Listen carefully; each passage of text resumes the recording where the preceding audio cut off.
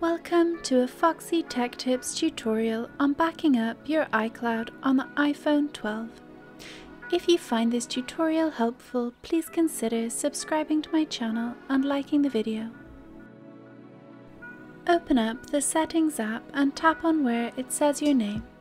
It also says Apple ID, iCloud, Media and Purchases. It is the very first item at the top of the settings. Now on your Apple ID page, tap on iCloud.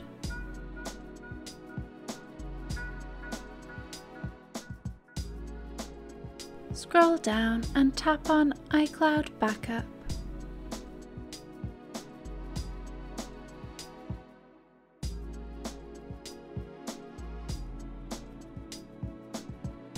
Here you can see that the toggle is on for iCloud Backup.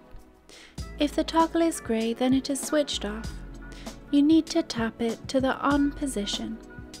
When the toggle is on it will be green. With the toggle switched on your iPhone will automatically back up your data to iCloud when it is connected to power, locked and connected to Wi-Fi. If you would like to force your iPhone to back up right now instead of waiting for it to automatically back up, then you can tap on the Backup Now option. This will only work when you are connected to Wi-Fi. Your iPhone will now back up. Unfortunately, as my iPhone is running low on iCloud storage, it did not successfully back up. But if you have enough iCloud storage, your iPhone will now be backed up.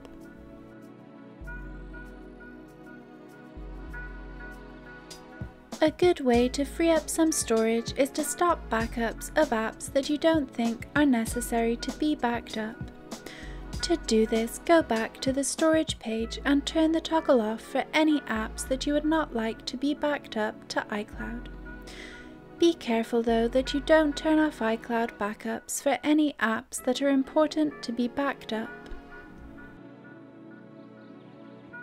And that draws an end to this tutorial. Please like the video if you found it helpful and subscribe to Foxy Tech Tips for more iOS tips and tricks.